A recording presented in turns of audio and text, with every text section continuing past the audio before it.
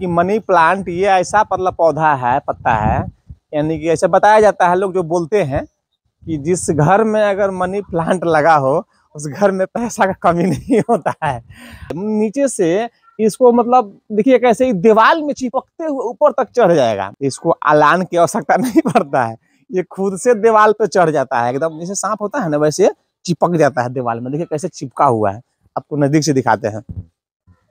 तो ये देखिए कैसे चिपका हुआ है, ये देखिए, बिल्कुल जैसे जैसे सांप होता है ना, उस तरीके से एकदम ऐसे ऐसे चिपकते हुए चला गया है। इसका पैर भी देखिए मतलब वो दीवार में ऐसे चिपका हुआ है, बारीकी से देखिए। देखिए कैसे पैर में भी एकदम चिपका हुआ है, जैसे लग रहा है हल्का हल्का निकला हुआ है और अच्छा लग रहा है, ऊपर तक चढ़ जाएगा पूरा ही।